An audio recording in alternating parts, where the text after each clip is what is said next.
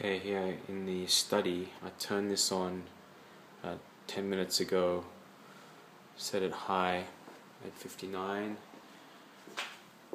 However, the heater is still cold, but what's most strange is that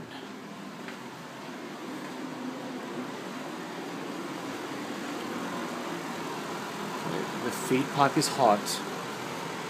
Here and also through.